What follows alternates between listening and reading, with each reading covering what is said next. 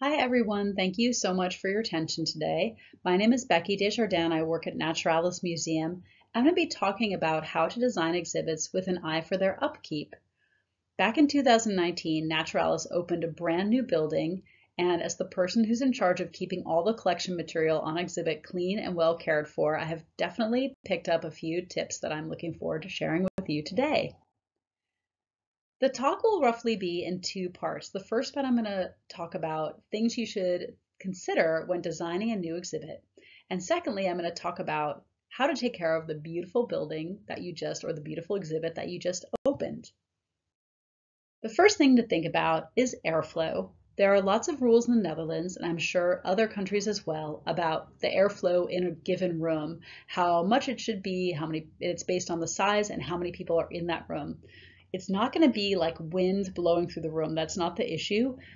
But what I've noticed is that during um, the areas or in the areas where the air is coming out, they tend to be dustier than other parts of the room. So I would say if you can, don't put something that's really challenging, challenging to clean, such as butterflies or a giant bird's nest, right next to an airflow output.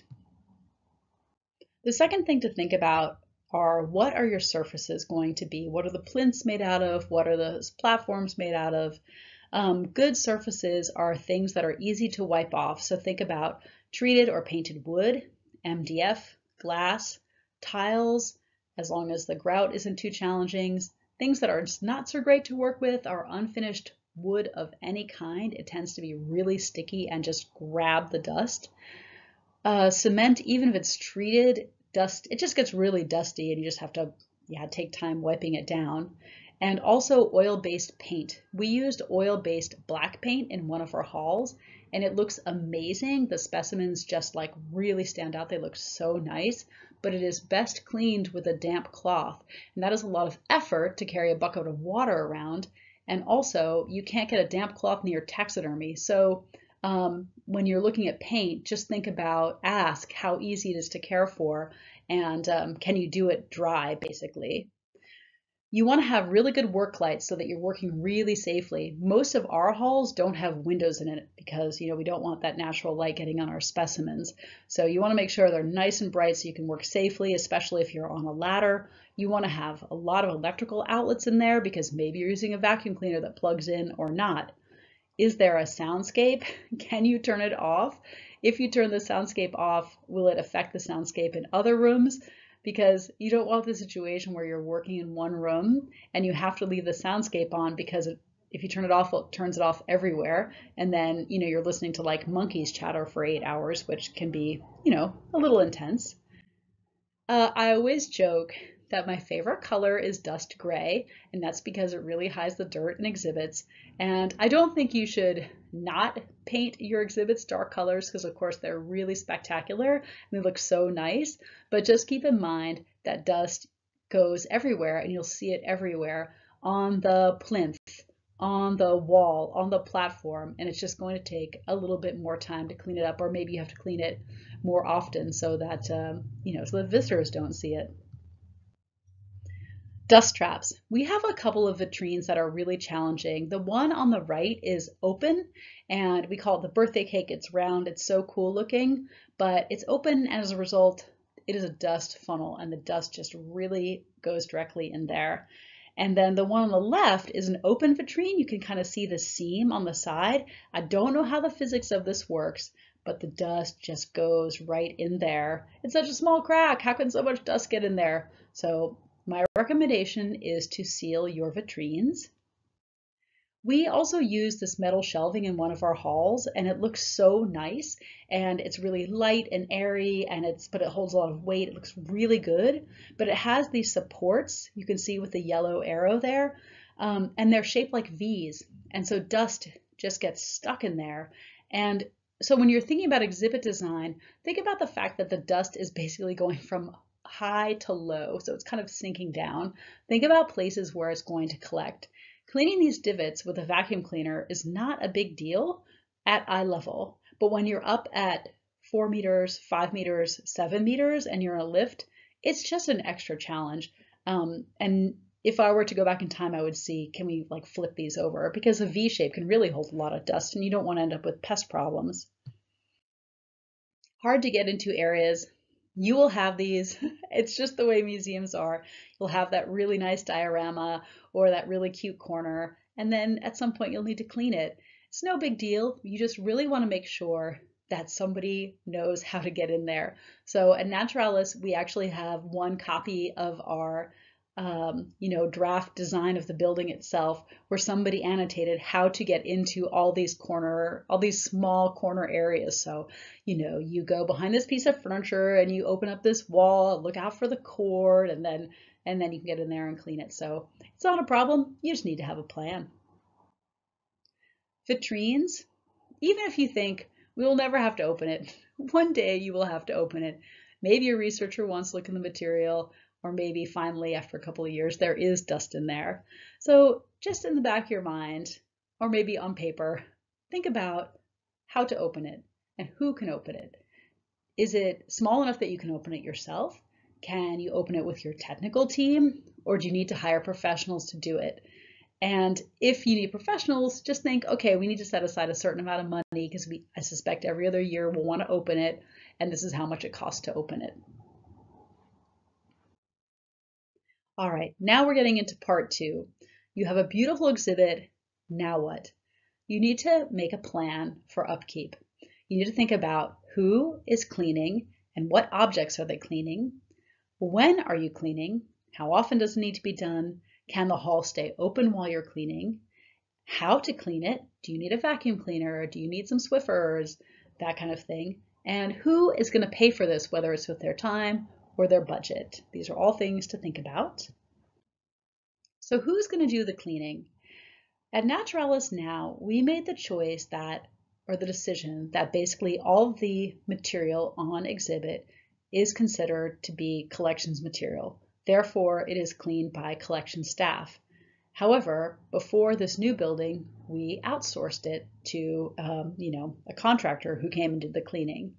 And then uh, in the old building, the old museum where I used to work, the exhibit staff did it because it was considered to be exhibit material. So you just want to think about who's going to do this. And it varies from museum to museum. Uh, there's no wrong way. You just need to, you know, it helps make a plan in advance before it's dusty. And then you're like, who's going to be cleaning this? In our collections department, the managers gave permission for everybody in the department to be able to take some time to help me clean. So I made a roster and I shared it with everybody. And you can see on the left is the date of the cleaning. Uh, on the center is the time because of course some halls take more time to clean than others. So some we can do before or after the museum is closed. Some we need to we need a whole day or a half day and then the name of the hall, and then how many people I need to help because sometimes it's big, I might need five people, sometimes it's small, I might need two people. And of course, those of you who are closed on Mondays, you have it much easier because you can you have a day when you're closed and you can do all these cleaning. But for us, it's a little bit more kind of a catch as catch can. But this is the roster, and again, the managers uh, gave thumbs up for everybody to take time to help me, but it's not required, so people who are really busy don't have to do it. How often do you need to clean? Um, after school holidays, uh, I guess uh, when I started out, I started out cleaning every hall twice a year. And then in about two years, it became really apparent to me which ones needed it more. So some of our busier halls, they just get dustier. People create dust. There's dust always coming off of our clothes and our hair. So after school, that we have our busiest halls need to be cleaned after school holidays. Um, you, of course, don't want to be cleaning during a really busy period because you don't want to have to close a hall.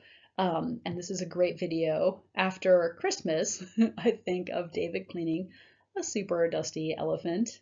And that's Melvin on the front there working on the trunk. Who should be involved when you're making decisions about cleaning? You need to actually involve a lot of different people at the museum you need to involve the normal museum cleaning staff, the people who do the floors, because when you clean or when I, when I clean, I'm creating a lot more dust and then the next day it's going to take more effort for them to clean it up. You also don't want to do a big cleaning of specimens the day before the museum cleaners have a big inspection. I'm speaking from experience here. It's not very nice to do that. You also want to involve your technical team because chances are they're above in the lights every now and then and they need to change filters or lamps or projectors or whatever. They're making dust kitties from above, which falls on your specimens. You to make sure you're cleaning after that happens and not before. And of course, you need to involve the front of house staff because they can let you know, you know, don't clean on this day because we have a school group coming. And so basically what we have done at Naturalis, we have a big we had a big meeting where all these people from all these departments were there and then it was actually the woman who's in charge of the front of house. She made the agenda. Because she was able to look at the roster. She knows what days are busy, what days, you know, things are scheduled. And she basically broke it out. So for some halls, the first day is the technical team, the second day is me, that kind of thing. For some of the busier halls, that how that's how it works. But basically involve more people than you think need to be involved because that way everybody's happy that they get some to say something and have their input heard. Quiz. It's on exhibit, but it's not collection material. Who cleans it? This might be less of a problem for, for smaller museums, but because we have a big cleaning staff, it's like who cleans collection material and who cleans not collection material in which in which you know who does it so basically i clean collection material which in this case is just the crane but the japanese house the cherry tree and the van are not collection material but who's going to clean them? In our case, it's done by the regular cleaners, but maybe it's one of those things where they're like, well, Becky, you're already up there on a ladder. Why don't you just run around with a vacuum, clean the roof of the house as well, or whatever. So these are also things that, uh, to think about um, and ask your technical team and your cleaners who wants to take care of this kind of stuff. All right, tools of the trade. What I use. I love a Swiffer. I love the Swiffers that come in the yellow box. Here they're called Swiffer dusters. They are amazing. I also use feather dusters. That's what you see in this picture, also known as plumos. These work really well for about, I don't know, not that long, maybe six months, maybe a year. Once they stop grabbing and trapping the dust, then we have to throw them out and get new ones, which but happily they're not very um, expensive, which is nice. I have a couple of vacuum cleaners. I use Makita brand. I have a backpack one and I also have a handheld one. They're both rechargeable. Um, we use filters. They work quite well. I do not vacuum specimens. I vacuum around specimens. I use the Swiffers or the Plumos on the specimens themselves. I always make staff wear dust masks. Um, and that's because, yeah, you don't want to breathe all the dust that's you're kicking up. We need to wear shoe covers because some of our exhibits, the one I mentioned earlier with the black paint, it scratches really easily, so you don't want to accidentally damage the paint. Um, also, you might need a lift or uh, like a personnel lift or a ladder, and if you need to have training to use these things, you need to make sure somebody has training. Um, I don't worry too much about, I mean, we use filters and everybody's wearing a dust mask, but most of our specimens are not so old that they are arsenicky. so um, so that's sort of less of an issue. And also in the photos I've been showing you in these slides, some of them are older photos than others. I used to require people to wear lab coats, but I don't anymore because it just inhibits your movement it's really not necessary. I just let people know your clothes might be dusty after today's work and you'll want to wash them. And of course we can wash them for people if they would rather have us do that. How to clean. Here, you can see y'all's hard at work with the Swiffer. It's just like cleaning at home. You start high and you work your way down. When you're cleaning a specimen, you start at the head and you work your way down to the tail of the animal. And then we clean the surface around where the animal is. And when you clean that surface, sometimes we use a Swiffer, sometimes we use a vacuum. It sort of depends where it is and how busy it is. Um, and that's kind of how we do it. This might sound really simple, but take a photo before you empty the vitrines. I was just informed that I, last week when I was cleaning a vitrine, I basically put back the ostrich egg label on the kiwi egg, and now I have to open the vitrine and fix it. Cleaning takes time and it takes bribes, but it's also kind of a fun moment. So um, because people are sort of volunteering their time to help me, uh, I always try to have treats, either homemade or ones I've bought. We always take a coffee break together because a lot of times these are people who might not work with me on a day to day basis. And in general, people are pretty happy to do it. If you are allowed to have front of the house staff help you they really like it because they're the ones who are in those exhibits every day and they see how dusty it is and they see where the dusty parts are, maybe more than you do. Um, so yeah, I just try to make it really friendly and, uh, you know, have a nice time. Put on some music. It's really good for social media. Now when I'm cleaning, I always let our marketing team know because everybody loves to see you, you know, dusting a dinosaur with a feather duster. It's so hilarious and cute. And usually the people who are doing the cleaning, they are also excited to put this stuff on their social media page as well. So definitely run with this, call your marketing people. And with that, my talk is done and dusted. And I want to thank everyone who has helped me keep Naturalis clean. In all these photos, you've seen people who've helped me for the last five years um, put in their their sweat and their uh, you know and their time, and I'm really grateful. So thank you all very much for your attention.